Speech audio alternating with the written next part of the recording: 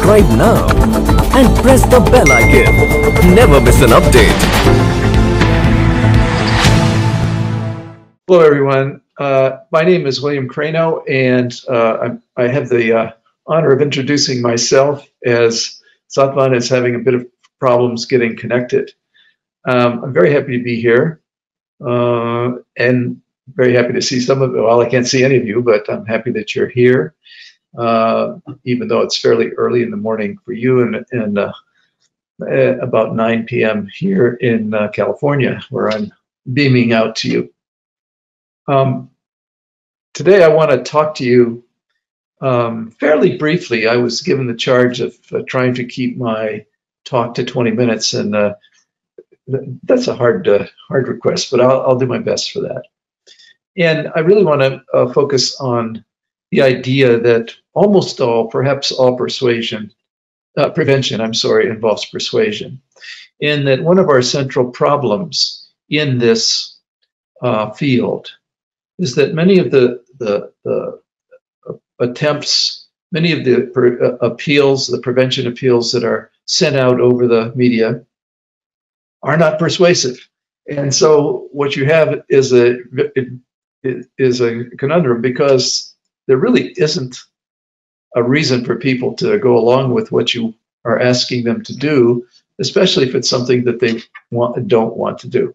There's no reason for me to give something up unless you persuade me that it's bad for me or that I should give it up because it is uh, will play into better health and so forth. So if you don't if you if you really miss out on the persuasion aspect of prevention, you're probably not going to succeed. And we have a long history of that, uh, at least in in uh, my country, in uh, just presenting work that that doesn't seem to that doesn't seem to do the trick. So let me start then. I, am William Crano. I'm a professor of psychology. I work at Claremont Graduate University in Southern California. Um, I've been here for this university for about 20 years. Uh, apparently, I like it because I haven't left yet. And so uh, let's get started. Uh, we have a wonderful uh, archive of data that has been going on far before the 2000s, uh, where a group of uh, researchers from the University of Michigan have monitored children, well, 12 to 18 year old children's um, drug use over the course of, uh, of their year. And they monitor many, many different uh, types of substances that people can get into trouble using. Uh, illicit substances, illegal substances, uh, and even things that uh, I guess aren't strictly illegal, like cigarettes, but that you probably shouldn't do. And now they, they're also adding uh, e-cigarettes or ENDS or vaping, but I'm not sure how, how the wording is is uh, done in, in India. Um, and they've been doing this for three years and, and have seen enormous increases in uh, use of nicotine through uh, vaporizers, through uh, ENDS, uh, elect electric uh, nicotine dispersion systems. And uh, in fact, that has come on so strongly that um, youth today are probably imbibing uh, more nicotine than when cigarettes, the kind that you and I are most more more, more used to, uh, when they were in their heyday. That that usage of youth uh, among uh, traditional cigarettes has dropped to extremely low levels. But uh, the, the place of that has been taken up by these uh, by vapes and uh, e-cigarettes, and they've really taken over. I'm going to start using just the word e-cigarettes because it's probably the best well known. Our uh, federal agencies are using this ENDS, ENDS acronym, but um, most people don't don't use it, and and none of the kids in the field use it. So uh, when you're writing uh, scientific articles, you do, but otherwise uh, it isn't done. Well, look what's happening here. This is a, we spend millions and sometimes billions of dollars every year, or every three or four years, I should say, in attempting to um, uh, uh, depress uh, both supply and demand. over the course of the years from say 2000 to 2020, I, I didn't bring out the, the, the run through all the way to 2020 because I ran out of space in my graph. And also it tells the same story. If you look at what's happening, this is this is the uh, children's youth's use of uh, of marijuana over the years.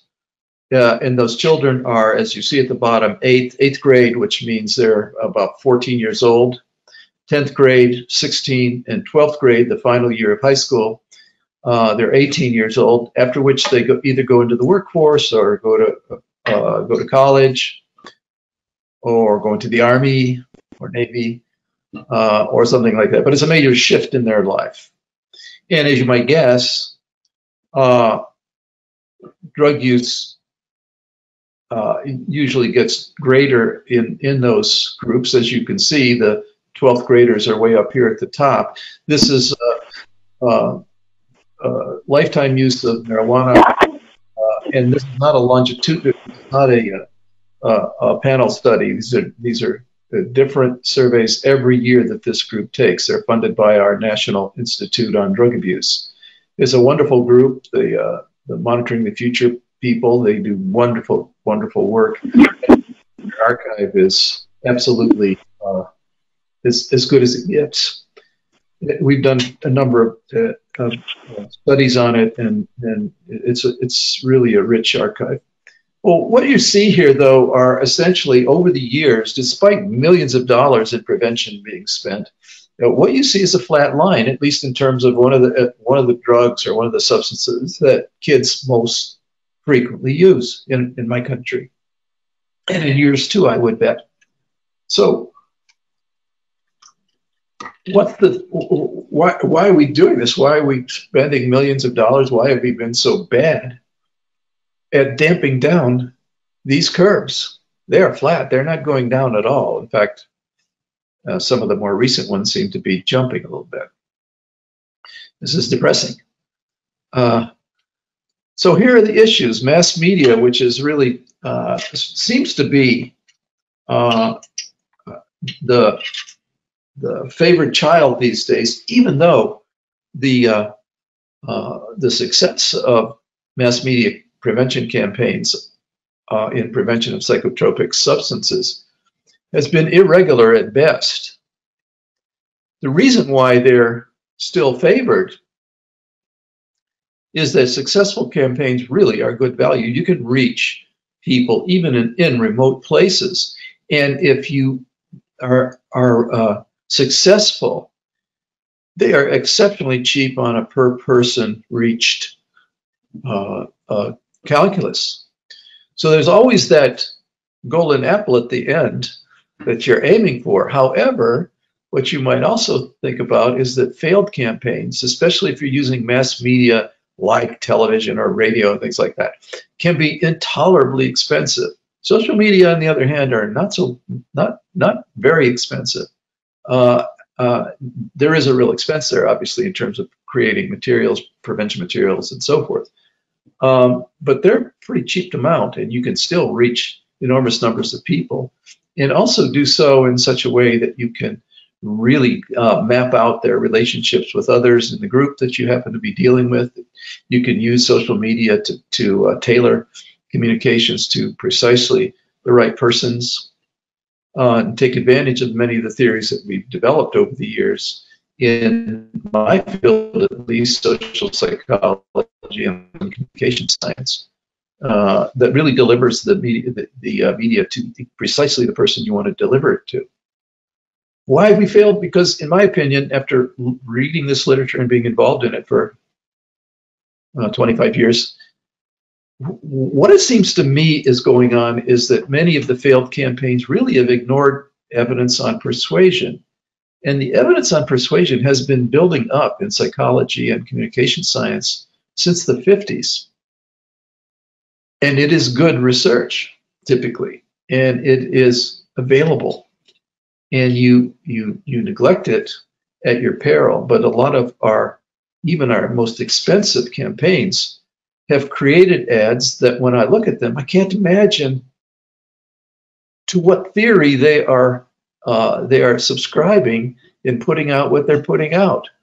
I, I once went to a, a, a, fellow who was in charge of a mass media campaign in the United States. It, it, it went to every state in the union. And I was uh, on an evaluation team that looked at what was going on. I was in Washington every six months, which is no fun if you're flying from deep, from uh, from California. It takes the whole day. And find what I found was, uh, and I told this fellow this. I, I said, "Look, this, you know, you're paying a lot of money to get these ads on every medium that we can think about: television, radio, magazines, newspapers, buses, you name it."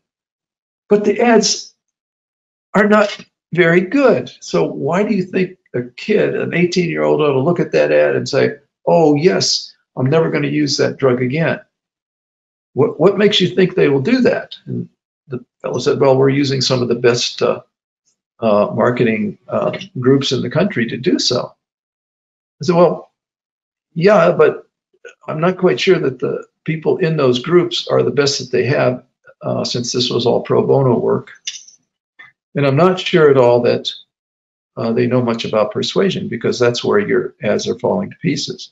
Why would you think that a campaign ad that showed a cartoon dancing bear with a little girl dancing in a circle, the bear was blue, by the way, and every now and then as they tromped around in the circle, they stepped on a uh, on a a, a marijuana cigarette on a joint that's on the ground.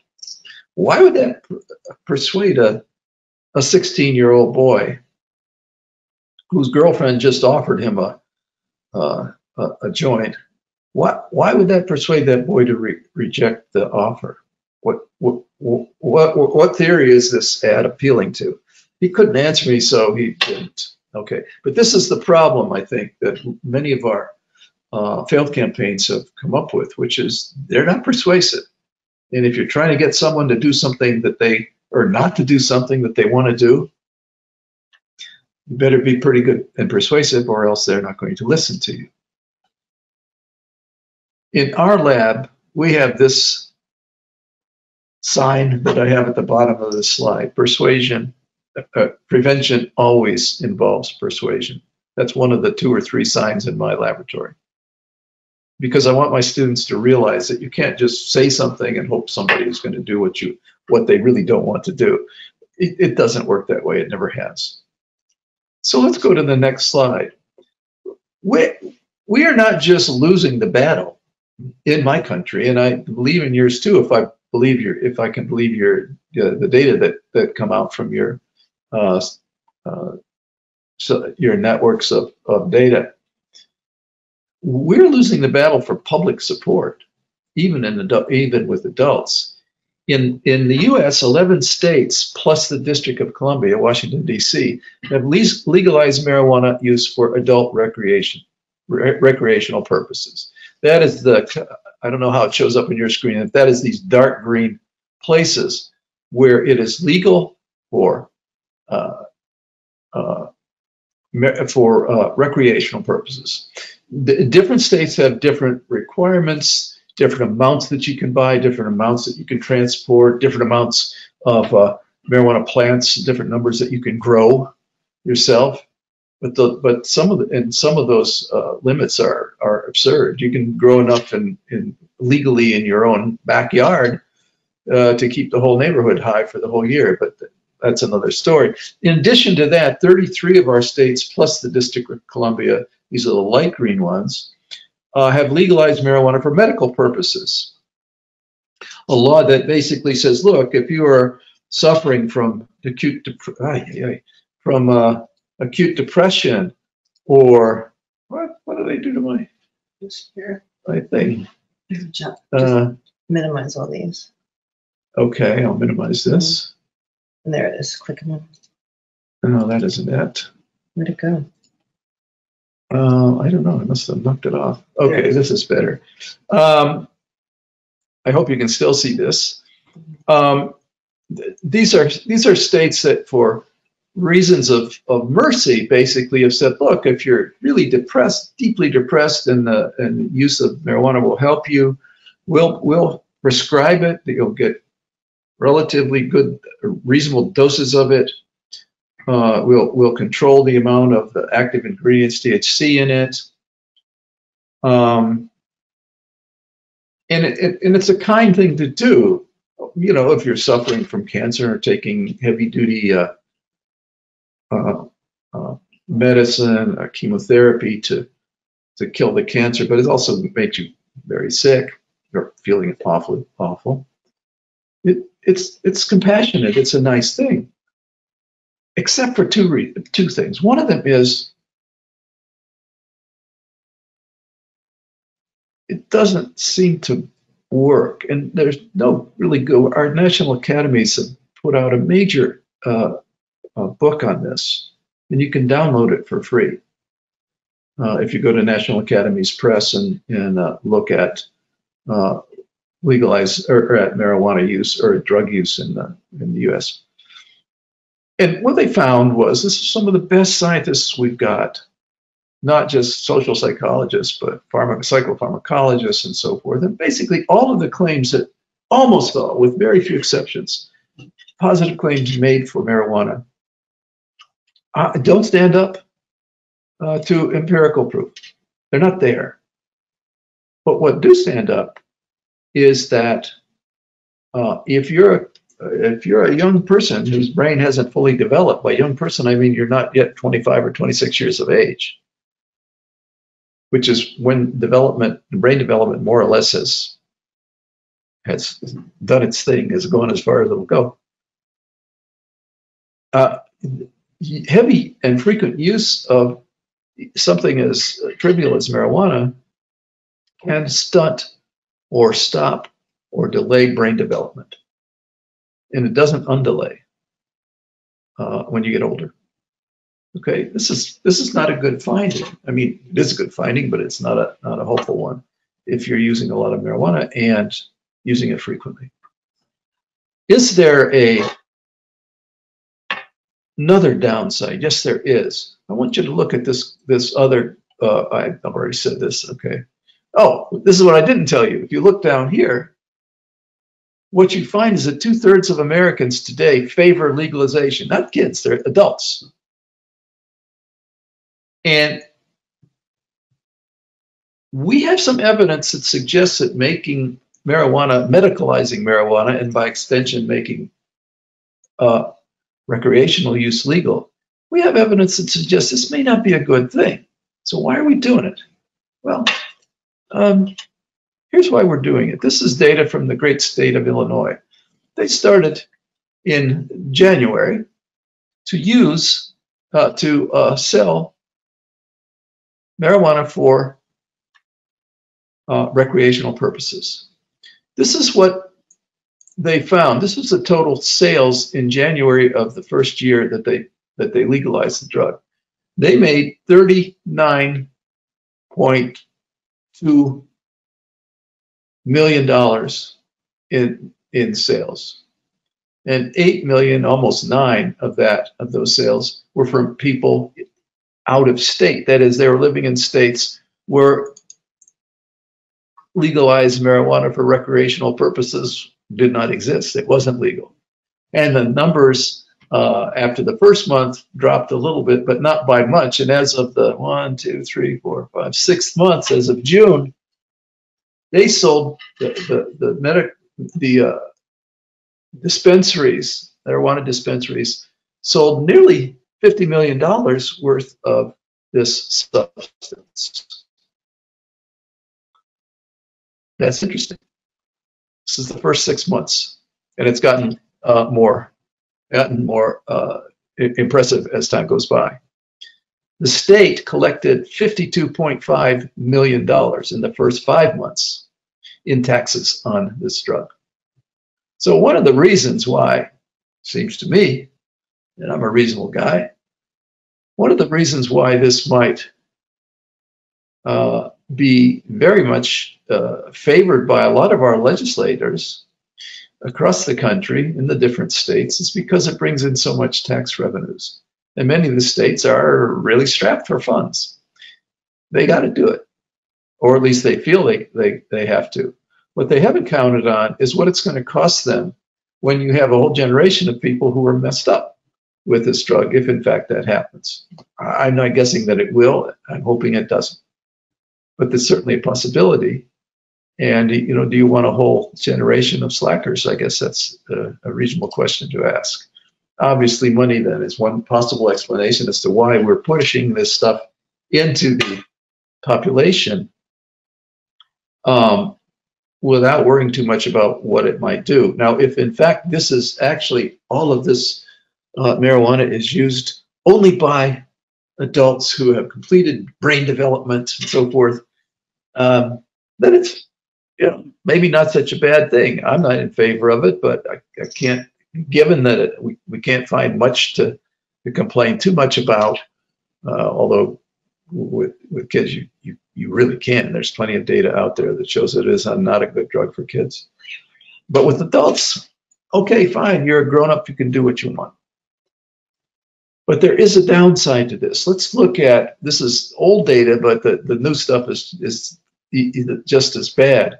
This is the percent of children aged 12 to 17 in the various states Colorado, Vermont, Rhode Island, District of Columbia, Oregon, and so forth in the different states who have legalized marijuana eh, or who haven't. And if you look at this graph, and I hope the colors are coming out well for you, all of the red lines are, you know, obviously the highest numbers are from states that have legalized marijuana by the year 2014. And all of the negative lines, all of the the, the least lowest use, using states are states that have not legalized legalized marijuana. Uh, I'm sorry, this is medical or or recreation. Okay, so why is that? I mean, this isn't legal for kids, right? If you're 17 years old, you, you can't be buying this stuff. No, but what happens, of course, is that what we found in other research is that it, when you legalize marijuana, either for recreational purposes or medical purposes, it does not necessarily stay in the adult population. It diffuses. And when it's more available, it becomes available to kids who have the money to buy it. And it's not very expensive. And so you're lost. You have a big problem. And there's not much you can do about it. It's impossible to keep that genie in the jar. Here's another reason why we're losing the battle for public opinion. I'm going to play you a memorable ad from an earlier campaign, media campaign in the United States. This is the campaign. This is the signature view, the signature uh, uh message of the campaign you might not have seen it being in India. I don't know if it if it played in your country, but it played all over the place in, in the United States. And people my age, whenever we see something, whenever we see it, we inv- invariably look at it and say, "Oh yeah, I remember that. That was pretty cool." This is it. Okay, last time. This is drugs. This is your brain on drugs. Any questions? Okay, that was presented to you by the Partnership for a Drug-Free America, a, uh, a, group that is uh, that we're doing uh, what they thought was was good good work on prevention. Um, it was a complete disaster, complete failure. It did not work. It did not stop drug use in the least. It didn't even deter it. Why not? Well, here's some responses and questions that the ad evoked on various internet sites. Yeah, can I get a side of bacon with that egg? Uh, could you make that over easy, flipped over easy? Yes, you're going to eat. Are you going to eat my brain because I'm really hungry, mostly from doing drugs? Or no, that's a frying pan, and that and that's an egg. I think whoever wrote this ad is on drugs. The problem was is that the ad trivialized the problem. It was cute. It was like, oh, look at that, isn't that cool? And and I agree. I mean, I I like looking at that ad, but I'm sure that if I were inclined to use any kind of drug that and they they weren't uh, specific about it, I, I would be uh, not put off by that drug. Uh, oh, I already showed this. No, I went backwards. No, I don't want to do that. Okay. So how about this? This is from the South Dakota campaign that really came out this year. Uh, it only costs a half a million dollars, unlike the Brain on Drugs ad. And it's uh, uh, uh, an ad that tries to get people to uh, stop using methamphetamines, mostly aimed at kids, but also the general populace. And the tagline of their ad campaign is meth, we're on it. Oh, come on, that's cute. Uh, but you're trivializing a very dangerous drug. Me- Methamphetamines, uh, we, we had a, a period of that, uh, heavy duty use of that in our country, and it was a mess. It's, it's been damped down, and but it's I think it unfortunately is coming back. Um, so how should we respond?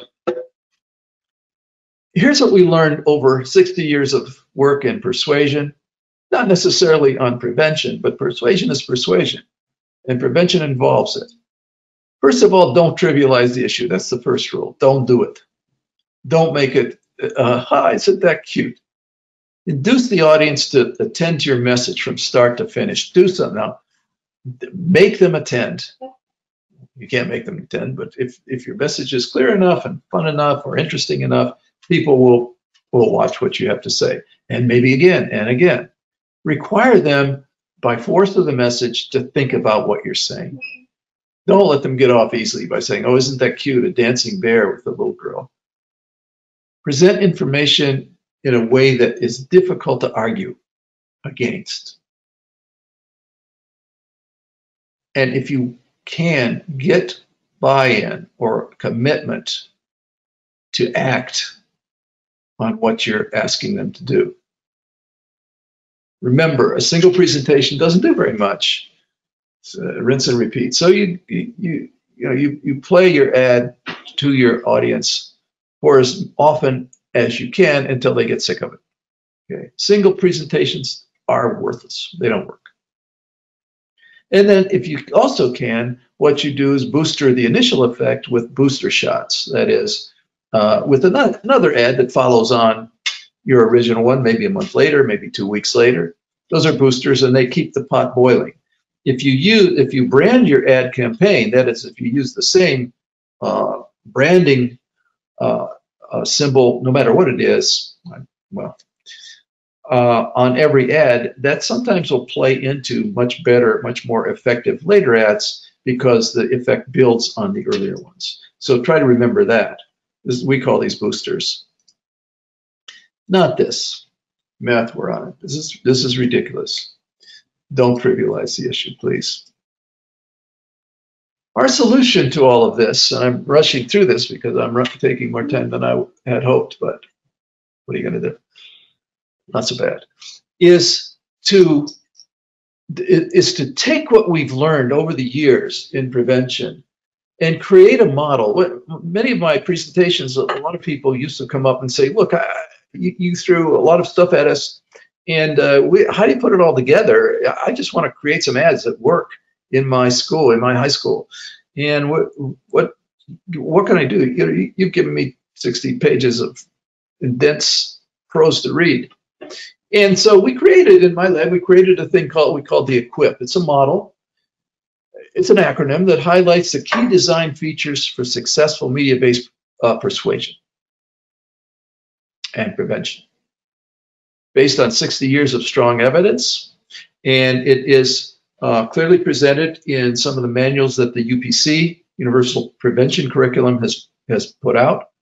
One of those manuals involves media-based prevention, which I helped to write. Uh, and and in it, we talk seriously about this thing called equipment. What what are we talking about? These are steps, or these are features of your ad, usually presented in the order that I'm giving them to you. In fact, almost always, that will help you design messages that persuade people. First of all, you the first part of the equip, the E, is engage. You have to attract and maintain atten the attention of your audience. If you don't do that, if people, as soon as your ad comes on, they get up and go into the kitchen and get a a, a, a, a peach, you lost them, right? You can't persuade somebody who isn't there. The second issue, the second step of the engage is exceptionally important and pretty easy. It is called question. It is simply raise a question in the mind of receiver of the receiver about, let's say, we're dealing with uh, marijuana, about a pro marijuana attitude that they may hold. Don't persuade at this stage. Don't try to push them around. Merely at merely raise a question. Are you sure everyone feels like this? Are you are you sure that that that, that your idea is correct? Raise a question. You, you, that's all. And then this third phase is what we call undermine, in which we try to destabilize the attitude. When the person answers, yeah, because of this and this and this, what you're what you want to do in the undermine phase is to say, actually, and undermine and inform go hand in hand. Actually, research from our best medical universities have shown has shown that using these drugs can be dangerous to you, can make a big difference and change uh, your future. And then the final part, after undermining and performing, informing, is what we call persuade, which is I have to show you why it, it would be more profitable for them to listen to you, to take your advice, than to stick with their own uh, own uh, ideas. Okay. You can do this. People say, well, how, how long does it take to put that into an ad and, and, and so forth? I mean, we, we only got 30 second spot, a TV spot. And the answer is you can do it. Other people have. Why not you? Okay. So this is the equip. Now let's look at the equip in terms of the this is your brain on drugs ad that we just that I showed you a few minutes ago. Did it engage you? Did it attract people's attention? Did they stay attracted to it? Yes, initially. I mean, it got old after a while, but at least for a long period of time, people liked the brain on drugs ad. This, the second part, the question, did it raise a question in viewers' minds about whether they should use it or use marijuana or not? No, it didn't. At least not the people that I've talked to and, and surveyed. Did it undermine? Did it threaten existing beliefs and provide an alternative? No. This is like the Reagan, Nancy Reagan campaign many years before that, which is, oh, uh, just say no.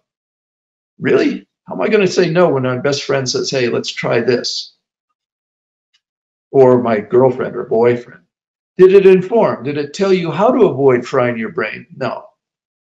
Did it persuade? Was it persuasive? No, it's telling me avoid a drug, but not how to do it or why I should. And it will fail, and it did fail.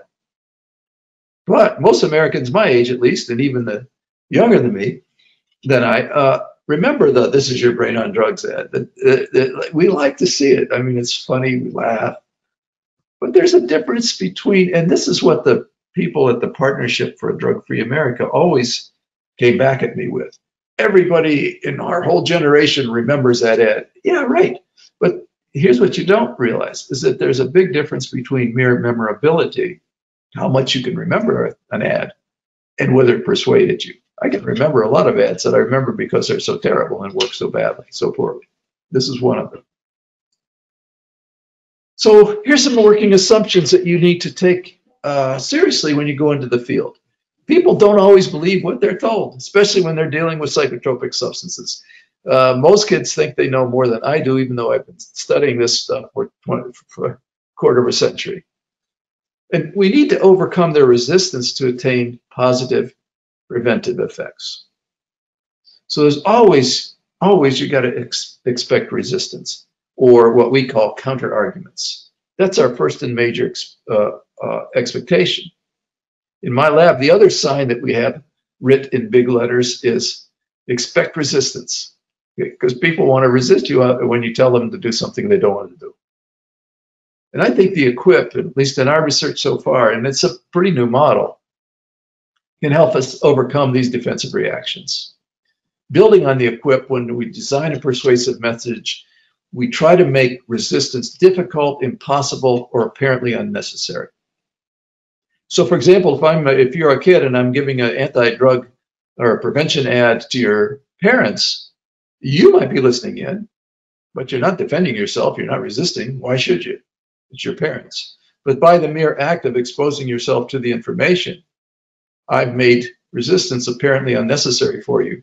And if you process that information, uh, I will uh, have persuaded you. or at least move you along the lines to persuasion. Target or tailor the persuasive message to the susceptibilities of your audience. What does that mean? It means talk to them about things they care about. Don't make an ad. To, uh, uh I mean, let's say you're 50 years old. Don't make an ad that it's going to appeal to 50 year olds if, in fact, your audience is going to be 16 year olds. You got to learn what what they, what appeals to them. And one of the ways of doing that is by taking your ads to a smaller group, testing them out, and saying, "What did this ad tell you? What do you think? Do you think it'll work?" Things of that sort. What you'll find will be very enlightening. Okay. Also, remember that it's not always a person who has a uh, substance use problem that you're trying to persuade. In some cases, the audience may be your legislators or the press or school authorities, okay, who maybe know, don't know quite as much as you know about what's going on. So, for example, if you're using young adult audiences, which really is where I'm I'm at most of the time, young adults and adolescents, uh, use message sources they respect, they listen to. Don't let them take the easy way out. Oh, he doesn't know what he's talking about. He's 60 years old, something of that sort. Use, uh, use sources of message, message sources that they want to listen to, because that will also ma make your uh, engagement job much easier. If I'm a great soccer fan and so forth, and, and uh, one of the great players comes on and tells me about something that I don't know much about, but I, I've been thinking about using some substance. And he says, look, uh, you can't be a good player if you use this because it will cut into your your wind and you won't be able to run as fast or as long. Don't do it. It's stupid if you want to be good. If I'm really a fan of that player, I'm going to think very, very seriously about not starting. Okay, so here's some more specific do's and don'ts because we've we mess this up all the time. First of all, don't overpromise and don't overthreaten. Especially in dealing with youth, they they kind of understand what when when you're full of hot air. And they kind of understand when you're making them promises that they know will not come true. Fear arousing ads. Don't try to scare people. They they usually fail. So avoid them. It'll take it will take it took me 10 years to figure out how to create good fear arousing ads that actually worked. You can't learn it in 10 minutes. Okay. And even if you do, I never use them anyway. I don't use them because I don't like them. I don't like scaring people. I think it's silly. Unbelievable ads usually fail. So if I make a promise to you that you know is, wait a minute, this can't be, that will fail. People people aren't completely gullible. Exaggerated ads usually fail. If I say to you, if you smoke this drug, your ears are going to fall out. I mean, come on. Nobody believes you. Avoid them. Whimsical ads usually uh, fail. No more dancing bears, please. I beg of you. I can't take another one. Disgusting ads usually fail. If there's a disgusting ad on TV and you watch it once, do you really want to see it again? Do you like being disgusted? Most people I know don't. So why would you create ads that you're going to play and play and play when you know you're only going to get one exposure and after that everybody will turn you off? Current feature. Oh, this is this is something that that is new. It's coming up uh, ever more strongly. If you fail in a persuasion campaign, what happens is is that reinforces the the individual's certainty that they're right, and so that what that does is reinforce resistance. So when you get into the field and do a bad ad campaign and it doesn't work, it makes my life when I come in following you three times harder than it needed to be if you had just not done anything. For young adults, use involve opinion leaders as message sources, but choose carefully. You don't want to build your idol with with the uh, and in, in youth, try to create a norm of abstinence or avoidance. The norm will help guide future group behavior. Okay, so it isn't I'm just trying to affect this one person. I'm attempting to move the entire group into a much more uh, resistant, drug resistant uh, position. Here are some fear arousing, exaggerated, unbelievable, and disgusting ads that you might want to look at. This was called the, uh, this came out of a, a, campaign to try and stop meth use in, uh, in Montana and and it morphed into a more general uh, use it everywhere kind of approach. Look at this ad with this. I guess it's a girl. I don't know, or a boy. You'll never worry about lipstick on your teeth again. Well, uh, this is yeah, right. I mean, all of these things are true, but in the extre- in extremis, you like that if you use enough meth long enough. But if your friend is doing it on the weekends, chances are that's he's not he or she's not going to look like this. Okay, unless it's a lot of weekends. I'm not saying you should do this stuff, but it, the, the the ad itself is disgusting. I don't like looking at this ad, even though I put it up on the screen. I imagine you don't either. So think about your audience. Are they going to want to re-expose themselves to something that disgusts them? I don't think so. So that's really all I have to say, and I think I've way overshot my time. Oh, Saban, you're here. That's great. Uh, and uh, so I will thank you for your kind attention, and then ask you any questions. Uh, and Hello, can you hear me now? yes, Yes, we can. Apologies uh, for everybody who's here, and also apologies for I've joined very late. But thank you, Mr. Crano. Your insights were grateful about how American, uh, American, uh, how, how campaigns in America have been working out. And I think a lot more Indian audiences can relate to it about the whole uh, idea about how the uh, you know, the campaigns where uh, disgusting ads or, or fear mongering ads have tried to, you know, come up on our screens and how we uh, kind of not follow them, of course. You know, uh, it's, it's, it's there. And uh, that's something I think we right now, as somebody who's working and who's seeing this, I can totally relate to how these ads just cannot work for us. Now, let's move on to the questions that we have here. Uh, how do you, uh, so Kaustubh Sharma is asking, how do we make sure that advertisements have to be age specific? I think I can answer that question, um, if I may. Uh, so, uh, you know, uh, before you get into uh, making an advertisement, there is a lot of studies and research that needs to go on uh, before you do it. So, from that perspective, you look at the kind of audiences you want to target your ad, you want to target your campaign, and then and and then once you do the research, you kind of understand what kind of language they prefer, what kind of uh, taste they have, and then you prepare a campaign, of course, with the messaging and the other work that needs to be uh, done on site. Uh, William, uh, Dr. Crano, would you like to add more to it? Yeah, I mean, th- there's a there's a real temptation in uh, in in advertising, uh, in in prevention advertising, to use um, to use frightening uh, materials, frightening texts and videos and so forth. And, and, and a lot of times when I'm talking with the person in a ministry who's just been put in charge of the media campaigns, the first thing almost every one of them says to me is, "Oh, we're going to scare them to death." And it's like, no, don't do that. It doesn't work. We, have the study I know of that fear arousal as a as a preventive uh, in persuasion was done, I think, in 1954. And since then, there's been an up and down uh, uh, record of of accomplishment. That basically what we found is that a lot of times when you scare someone about a drug, what they do is focus on, on their fear and not on the thing that's causing the fear. So they try to figure out, well, how, how can I avoid being so scared rather than how can I stop doing this thing that's going to that's that's going to give me this big problem that's been promised in the in the preventive uh, communication. And it, unless you can work with ways of, of pushing the uh, uh, the, the the perception or the ideas about here's what you focus on, here's what you need to worry about, uh, which means that in any fear arousing campaign you have to do a couple of things. Uh, I'm not I'm not uh, uh, really uh, trying to push for these because I don't think they usually work.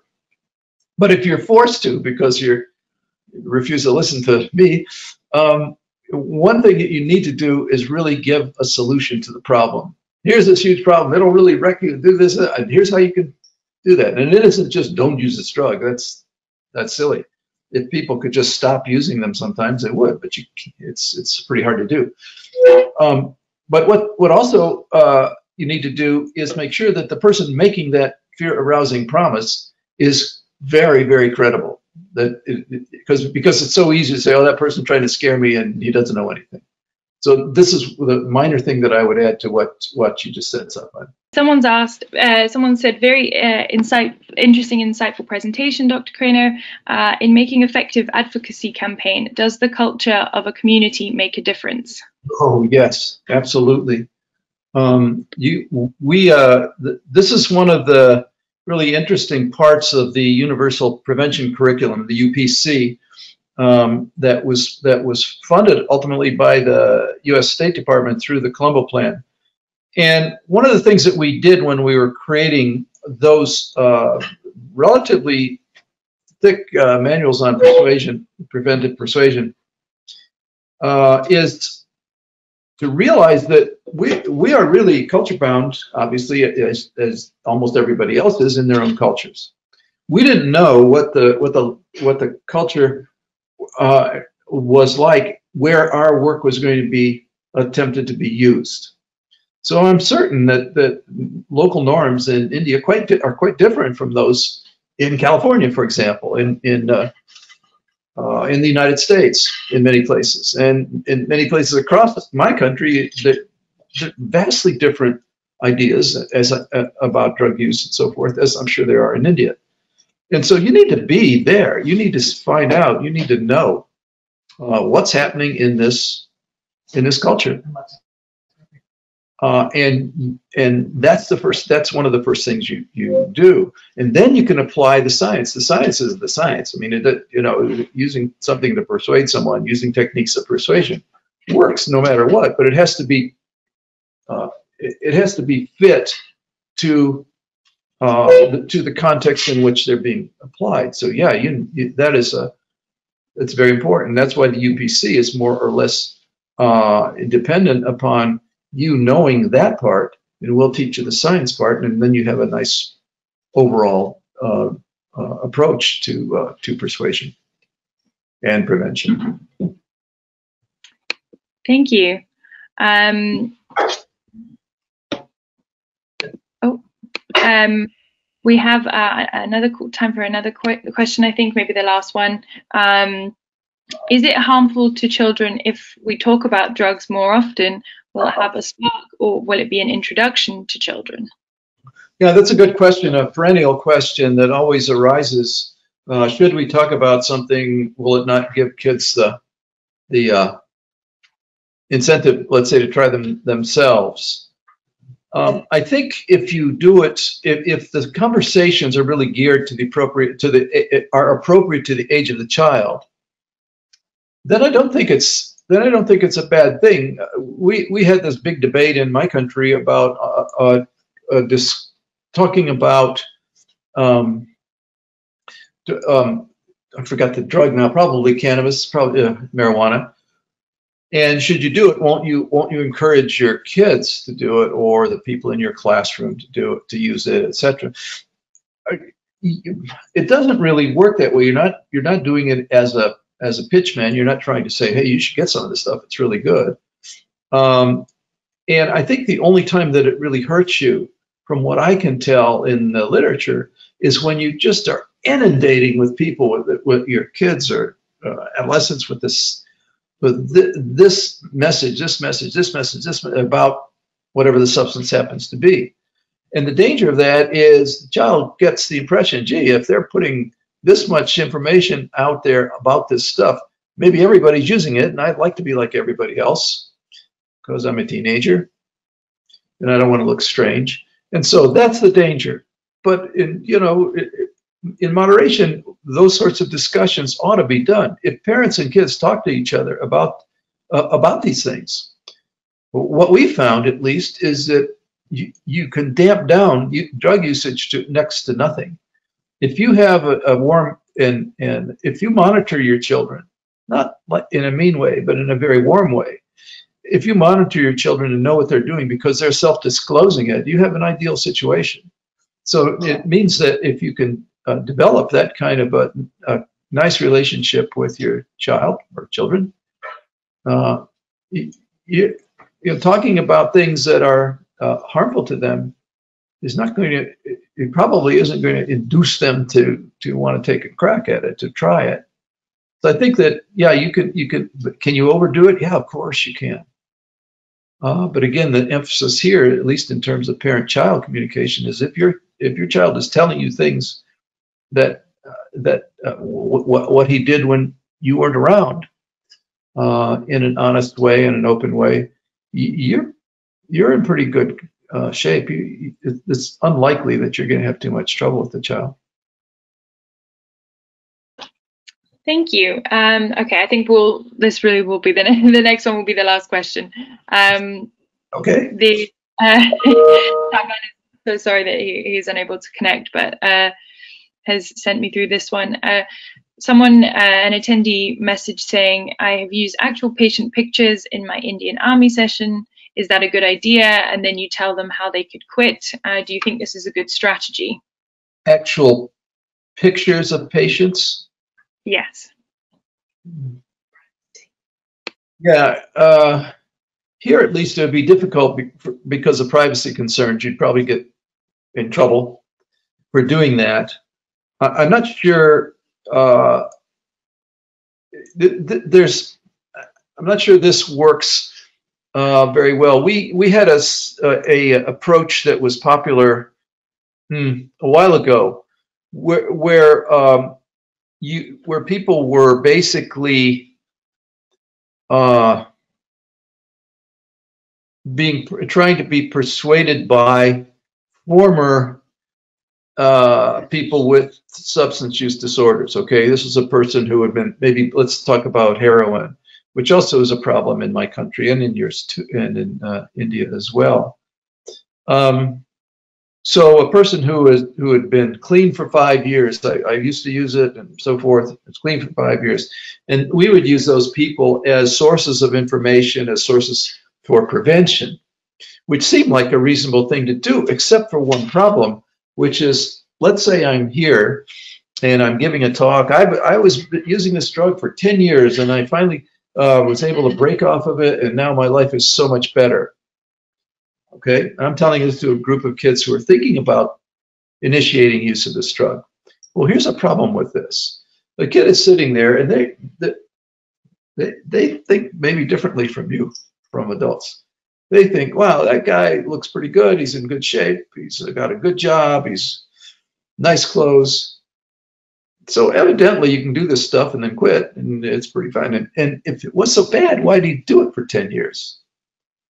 and that is the perception that sometimes is given by by that i think that may be what you mean by using pictures of your clients um, if they're just scary pictures if you just have pictures of clients who are really strung out and in really terrible condition um, you have you, you might end up having uh, credibility problems or it will it could that could never happen to me because because people don't like to think of themselves as being uh, susceptible to horrible things.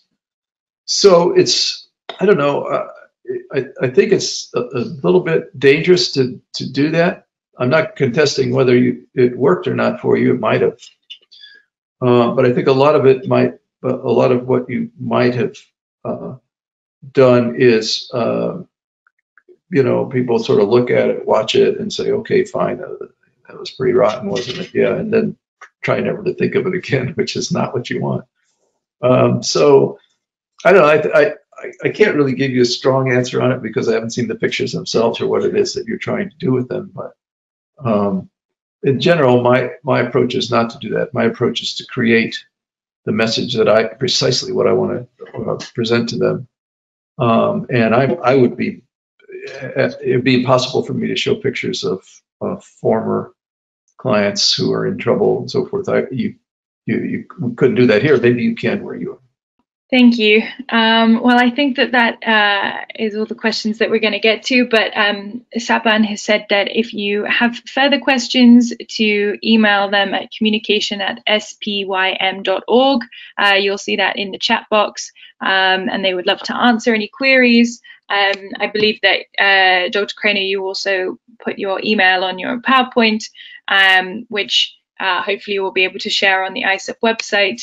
Um, so uh, people will be able to watch the recording and visit the presentation again uh, from today. Um, I would just like to, uh, I know that Saban would love to say this uh, himself on behalf of uh, ISSUP India, but um, we'd just like to say thank you so much for your time uh, this evening, this slash this morning, Dr. Crano. We very much appreciate it. And uh, yeah, we are sorry for the, the technical difficulties that have led to uh, more of a one-sided uh, webinar uh, today. If I had to choose which way the technical difficulties went, I'm, I'm glad it was you on you, not on me. So thank you for coming. And uh, I hope this was a, a, a, pleasant and maybe even useful uh, hour for you. I enjoyed it. A good day. So thanks everyone, and uh, I will answer questions if you you know if you send them to me. They're they're on the slides.